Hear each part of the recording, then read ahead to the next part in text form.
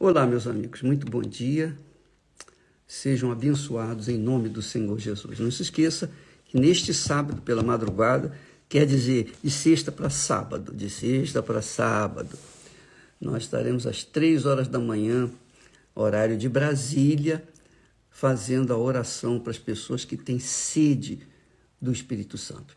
Eu queria só dar um recadinho para vocês, porque eu estou de saída, e dizer da, confirmando aquilo que nós vimos falando sobre Abraão. Abraão era um homem íntegro, um homem reto, um homem que não precisava roubar, enganar, iludir, fazer tra, é, trapaçar, trapaç, tra, trapassaria, trapa, oh meu Deus do céu, é isso aí.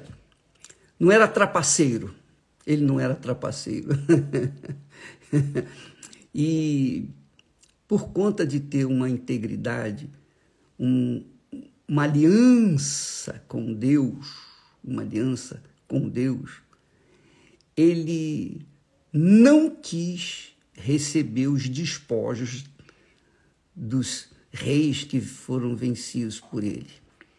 Ele venceu nove reinos e tinha muitos despojos à sua disposição, mas ele não quis nada, absolutamente nada, porque ele dizia, ele dizia, não, ele disse: Eu jurei, eu levantei a minha mão a Deus para os céus e jurei que não tomaria de ti, quer dizer, de do rei de Sodoma, que representa o diabo, que havia lhe pedido as pessoas e o dinheiro, os, os bens poderiam ficar com ele, Abraão disse: Não, eu não quero nada, absolutamente nada.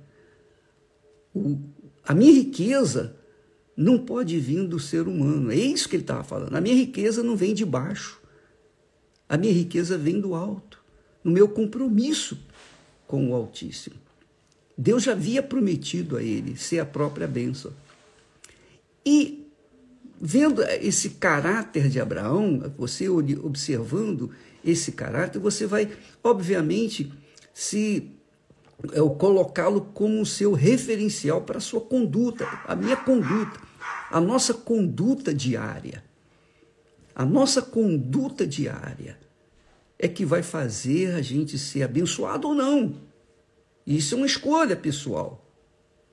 Agora, Chama a atenção também que Abraão, porque tinha a direção do Espírito Santo, ele tinha a direção do Espírito de Deus, ele, obviamente, teve a conduta que teve ou que tiveram todos os homens de Deus que tiveram o Espírito Santo. Olha só, lá em Abacuque, capítulo 2, versículo 9, diz assim: Ai daquele que, para a sua casa, ajunta cobiçosamente bens mal adquiridos, para pôr o seu ninho no alto, a fim de se livrar do poder do mal.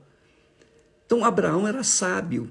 Ele sabia que se adquirisse bens de forma cobiçosa, de forma fraudulosamente, de fraudulenta, de forma fraudulenta, corrupção, mentira, engano, é, qualquer tipo, qualquer tipo de sujeira, ele estaria construindo a sua riqueza com a ajuda do mal. E eu pergunto: você acha que o mal vai abençoar os seus fiéis? Você acha que o mal vai dar assim, de mão beijada, para os seus fiéis e vai ficar de longe? Então, esse versículo aqui diz que ai daquele que, em outras palavras, tirando a miúdo, ai daquele que fica rico de forma fraudulenta, de forma errada, de forma injusta, cruel para pôr seu ninho no alto, pensando que o dinheiro mal que foi adquirido de forma fraudulenta, vai livrá-lo do mal. Ora, se uma pessoa, se uma pessoa usa o mal para ganhar dinheiro, seja para roubar, para matar, para fazer qualquer coisa, ele pode ter certeza absoluta, tanto quanto Deus existe, que este mal vai pegá-lo lá na frente. Não tem lugar, não tem esconderijo para o mal. Quando a pessoa segue o caminho do mal, ela não pode se esconder do mal nunca. É por isso que as pessoas contam com a sorte e falam do azar, porque elas não podem contar com Deus, porque sabem que estão fazendo o que é errado. Então é certo que essas pessoas vão colher os frutos daquilo que elas estão semeando. Então, quando você vê políticos corruptos, esses políticos corruptos sempre, sempre acabam mal. Por quê? Porque eles usaram da corrupção para se enriquecer. E pensam o seguinte: bom, eu tenho muito dinheiro, eu tenho poder para resolver qualquer problema. Só que, para lidar com o mal, não adianta dinheiro. Você pode ter o dinheiro que tiver, mas se você usar do mal para ter conquistado esse dinheiro, a riqueza, você pode ter certeza que o mal vai te pegar. Mais cedo ou mais tarde, mas vai te pegar. Vai te pegar. Com certeza. É o que está descrito aqui. Ai daquele, ai daquele que para a sua casa ajunta cobiçosamente bens riquezas mal adquiridos, mal adquiridas, para pôr o seu ninho, quer dizer, para construir o seu reinado no lugar alto e dizer agora que ninguém vai me tocar, a fim de se livrar do poder do mal. Não tem jeito, vai vai perder, porque o mal tem acesso a todos os que lhe servem, todos.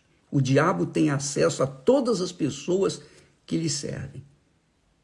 Não há uma pessoa sequer que tenha se utilizado do diabo ou dos seus demônios para ficarem ricas que não venham colher os frutos aqui nesse mundo, aqui nesse mundo e na eternidade o inferno e depois o lago de fogo e enxofre. É isso que eu queria deixar para vocês. Então, Abraão tinha esse caráter de lisura, integridade. Por isso que Deus manda que a gente ore para Abraão. Quer dizer, imite Abraão, faça o que ele fez, ele seja o seu referencial. E é o personagem, fora de Jesus, claro, mas é o personagem que mais me atrai em toda a história da Bíblia porque ele realmente foi um herói da fé. Ele não fez milagre, nenhum milagre, mas ele foi o próprio milagre. Ele foi a própria bênção, porque obedeceu a palavra de Deus, porque era obediente à voz de Deus. E Deus o provou até o máximo, ao limite, e ele passou na prova. Oh, que maravilha! Então, isso aí quando eu falo de Abraão, eh, a minha alma se enche de gozo, de alegria, porque quem ama a justiça, quem gosta da justiça, quem tem sede de justiça, olha para Abraão e segue nas suas pisadas. Amanhã estaremos de volta. Deus abençoe a todos e até lá em nome do Senhor Jesus. Amém.